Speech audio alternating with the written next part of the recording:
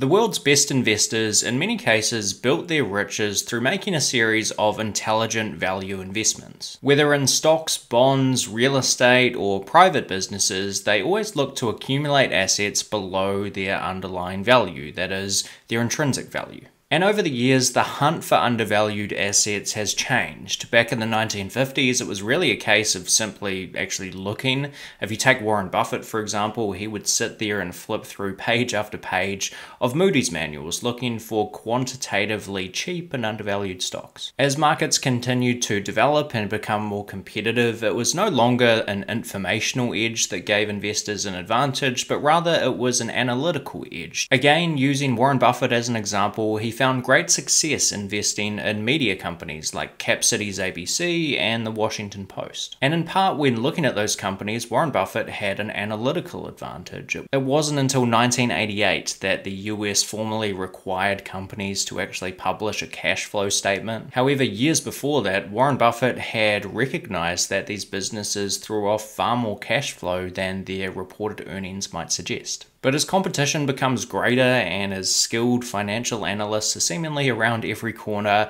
many investors believe that the most lucrative edge to have in markets today is a behavioral one. More specifically, participating in something called time arbitrage, simply making long term investments in a very short term focused stock market world. We hear it all the time from the world's best investors. Seth Klarman of Baupost Group, for example, said the single greatest edge an investor can have is a long term orientation.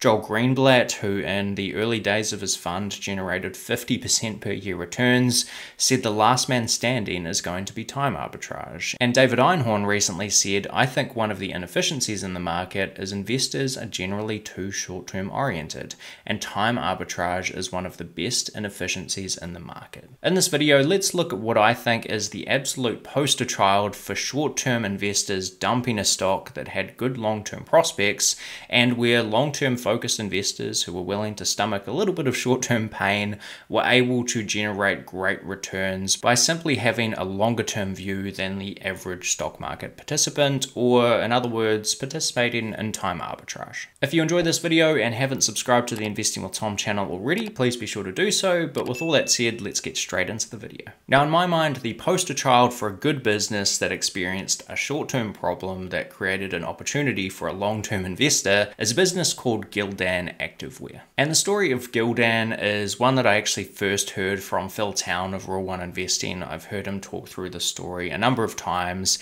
and the story, as Phil Town tells it, is actually from back in 2011 or 2012, but still through to this day, it's one of the best, cleanest examples of a short term event a company ran into that was kind of out of their control that created a great opportunity for the long term investor. And Phil Town himself actually took advantage of the opportunity in Gildan Activewear at the time and uh, presumably profited handsomely from it as well. Now, Gildan is a good but somewhat cyclical business. Uh, they are largely a global leader at this point in producing basic clothing. And long term investors in Gildan Activewear have had a pretty good experience. Had you bought Gildan shortly after it went public at the end of 1998 and held it through to today and reinvested your dividends, you would have generated 19.4% compounded returns for over 25 years. Uh, that's against 6.99% for the S&P 500 over the same period of time. Uh, that sort of outperformance versus the S&P 500 is enough to turn a $10,000 investment in Gildan Activewear into $737,000 uh, by today. That's about 14 and a half times more money than you would have had you put that same $10,000 into the S&P 500. Today that would be worth about $51,000. Of course, by definition, a good business is one that earns a high return on invested capital and Gildan is no exception. It earns sort of a high teens uh, return on invested capital on average. It is somewhat cyclical, so that return on invested capital goes up and down, but it averages out out in sort of the high teens. The return on equity is a little higher, Gildan does have some leverage built in, and for that reason, return on equity tends to be closer to about 20% on average. And you love to see it, Gildan Activewear has the same CEO as when it went public in 1998, and he personally today has about a $100 million personal stake uh, in terms of his stock holding in Gildan Activewear. Now, like I mentioned earlier, Gildan is somewhat cyclical, and that's really how we arrive at our story of a short term event that caused a great opportunity for long term investors. And Gildan is not cyclical in the typical sense of the word. They're not like an oil company where uh, revenue goes up and down wildly just based on the price of oil. We'll take Occidental Petroleum as an example of that. Uh, the revenue growth over time for Gildan, um, despite a couple of lumps here and there, has actually been pretty consistent over the years. Now, what isn't so stable in the case of Gildan is some of their raw material costs. They are particularly exposed to the price of cotton which is a crucial uh, raw material, obviously, for producing the basic clothing that Gildan produce. And that leads us to our story of the opportunity that was for long term investors back in 2010 and 2011. Now, in very early 2011, cotton prices went through the absolute roof. Uh, they peaked out in early 2011 at about 2 US dollars per pound. That's about two and a half times the long term average price of cotton, uh, and cotton prices even got down to a low of 40 cents per pound in the financial crisis only a couple of years earlier. As is more or less always the case when a commodity price does this, it was a combination of increased demand in this case, um, particularly from China, combined with uh, supply constraints, um, notably from floods in Pakistan that caused uh, yields and production of cotton to be lower. And so in the 2012 financial year, Gildan experienced some higher costs. And if we look at some of the basic uh, financial performance from the 2012 financial year, actually their revenue grew pretty nicely. Uh, it grew about 12.9% versus the previous year, their 2011 financial year. However, even though revenue grew about 12.9%, their gross profit actually decreased 9.5%. And that decline in gross margin and gross profits was primarily due to increased costs, particularly relating to cotton. And as is so often the case in the stock market, a business with a good long term track record and good future prospects was sold off by shorter term minded investors. And in the case of Gildan, it sent the stock down almost 50% from peak to trough. Now, of course, this type of analysis is much easier to do in hindsight, but let's just pause for a moment and uh, think about being back in 2012, looking at uh, a situation that's going on here with Gildan,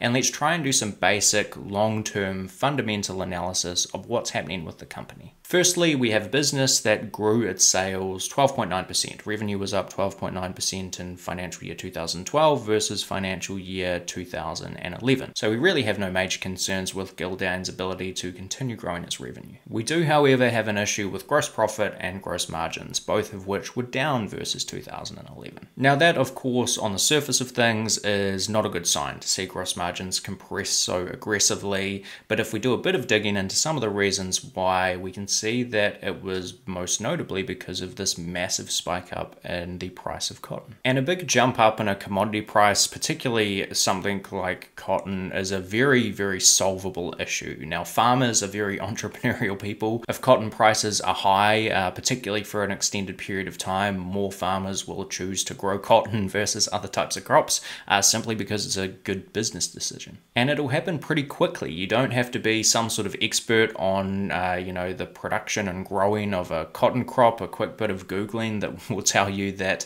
uh, the production cycle for cotton is relatively short. It's about a six month period from planting to harvest. So, some basic analysis will tell you that in a fairly short space of time, relative to, you know, a long term view of an investment in a business, uh, this should be a pretty solvable issue for Gildan. You know, there's an old saying in commodity industries that there's never really been uh, a supply shortage and a boom in prices that hasn't been followed by a glut, uh, oversupply, and then a, a big decrease in prices. And finally, the stock in absolute terms got quite cheap. Uh, it got down to about as low as 1.5 times book. Now, like I mentioned earlier, Gildan had a, a uh, long term return on invested capital in the high teens. It had a long term average return on equity of around 20%. So if Gildan got all the way down to one times book and again had a long run return on equity of around 20%, it would kind of be equivalent to putting your money in a bank account that earned 20% interest. That's kind of how the mathematics works on that. And that, of course, is absurdly cheap and it's a phenomenal return. So for Gildan to get, uh, even within range of one times book, to get down to about 1.5 times book, it was fairly optically undervalued and it was trading about at half of the book value multiple it had traditionally traded at. But nonetheless, short term investors sold the stock off and it created a really fantastic opportunity for longer term investors. Now, in terms of how it played out for investors that were willing to take a long term position in Gildan and potentially stomach some short term pain, if you had bought the stock at the beginning of 2012 and had held it for, say, five years, just to put a number out there,